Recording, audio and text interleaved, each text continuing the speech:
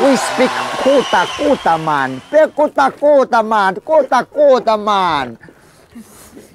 Mi sono sempre piaciuti gli sposalizi.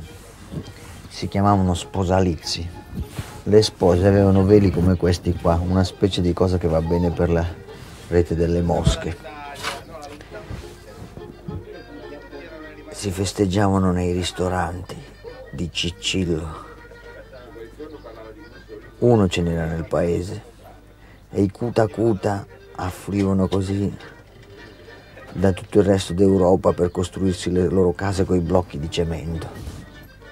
Blocchi di cemento, si ergevano così le case nel freddo e nel vento dell'Occhino, paesi che si chiamano Occhino, che già dice malocchio, Occhino, dove stavano personaggi Ciccillo con i parenti in Canada e le foto sulla, sulla credenza e si trovavano e si trovavano la sera a ballare per i matrimoni.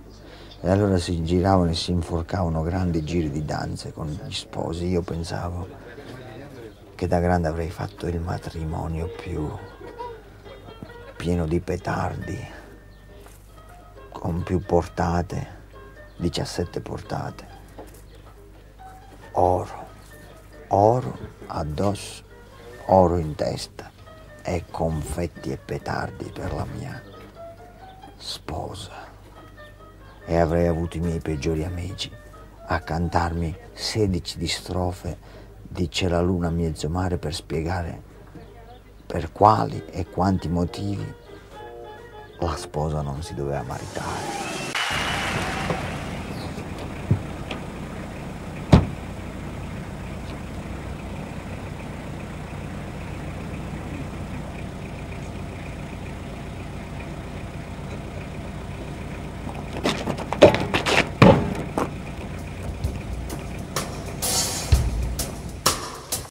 Degli uccelli che camminano la notte, mi dissero da piccolo, non valgono nemmeno le penne, neanche quelle sono buone da mangiare. Ci sono artisti autobiografici, io sono prebiografico.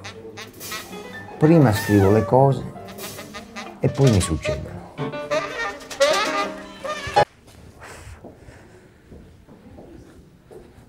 Di quelli con lo spazzolino in tasca, mi faccio la toilette nei bagni dei ristoranti, dormo sui pullman, nei sedili delle auto e poi mi lavo come i gatti nei bagni pubblici.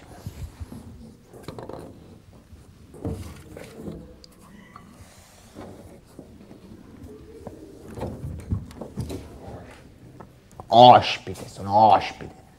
Che mestiere fai? L'ospite. Che bellezza.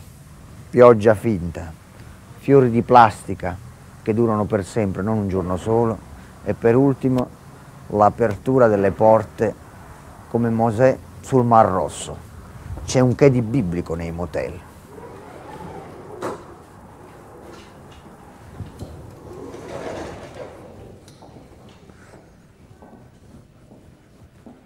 Erano in un motel sulla statale, sotto di loro pitoni in gabbia, tarantole, e iguana verdi chiusi in gabbia con foglie di insalata, rumori di tir. Nel parcheggio una ragazza giovane bionda con i capelli biondi appiccicati alla fronte, disperata, piange.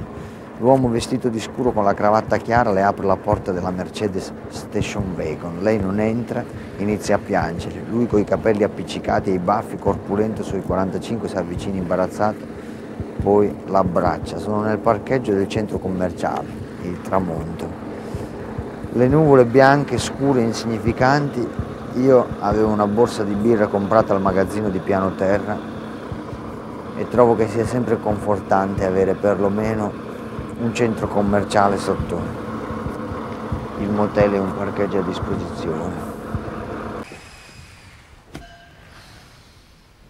Mm.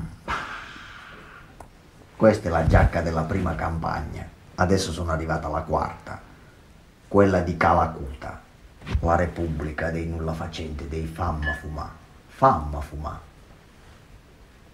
Quelli cioè che non hanno neanche le sigarette e te le chiedono, dice famma fumà.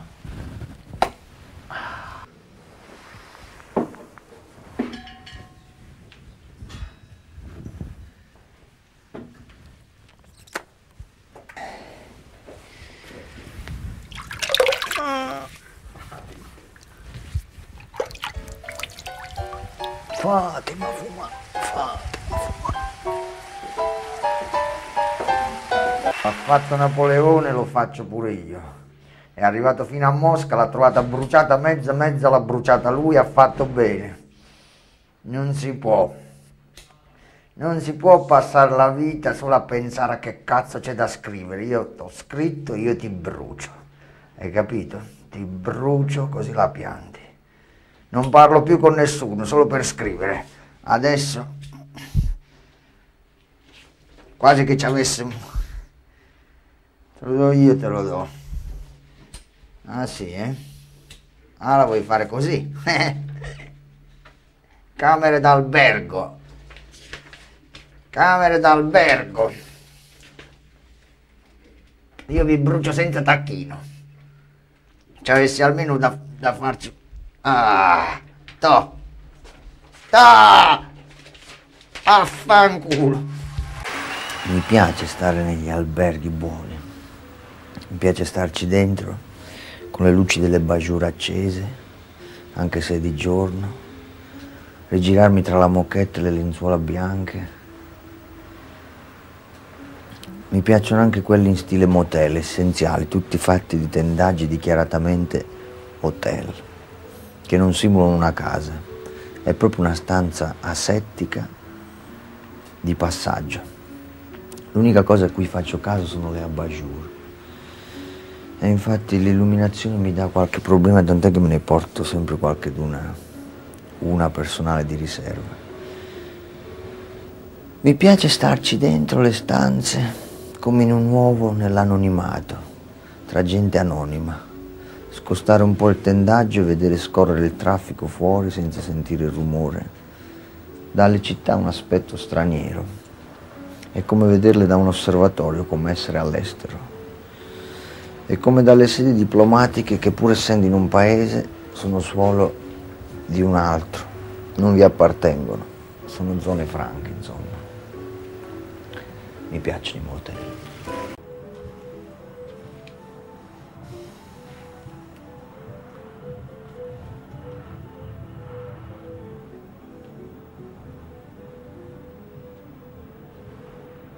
I lunghi corridoi, le porte in fila. È la solita storia, l'identità si realizza nei posti costruiti e costruiti per l'anonimato. Adesso mi piacciono questi in stile svizzero-americano.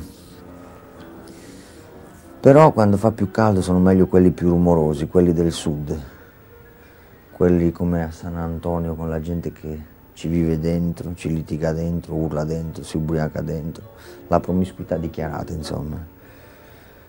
Questa qua invece del congressista è una tregua dichiarata con l'opulenta pianura.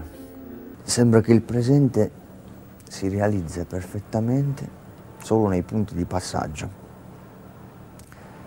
negli spazi di passaggio, gli autogrill, gli hotel, le stazioni, le automobili, tutto quello che non presuppone un ritorno. È singolare poi come spesso questa situazione di consapevolezza sia per noi più forte in posti destinati all'anonimato. A me piace stare ai margini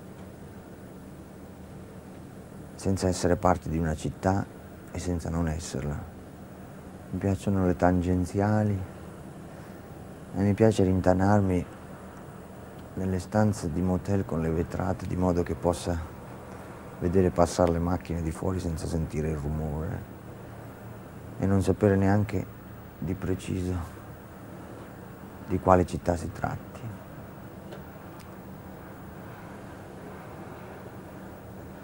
Mi piace perché il cielo dà più l'impressione di cadere addosso quando c'è spazio intorno. Ed è un po' il fascino dell'Eternit e dei capannoni. Se proprio devo stare in clandestinità preferisco starci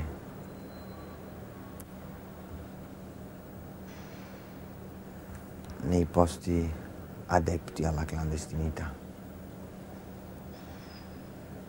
Ci sono volte che non si pensa che ci se la farà rialzarsi di qua. Però in qualche modo la giornata finisce sempre in un altro posto rispetto a qua. Eh.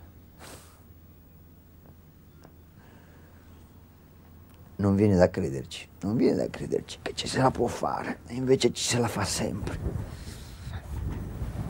E non si sa se è un bene o un male.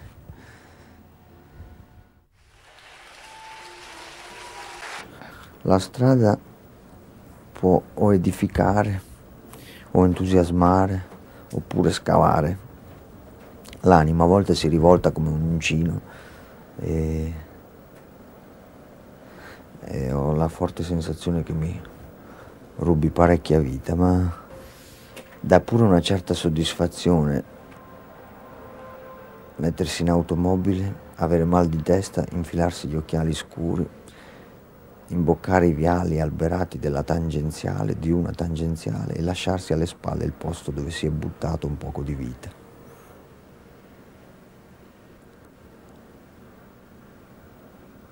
Sante parole. mm. Un secondo.